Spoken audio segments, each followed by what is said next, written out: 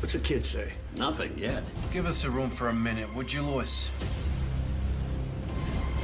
You're not welcome here. I think you better step aside.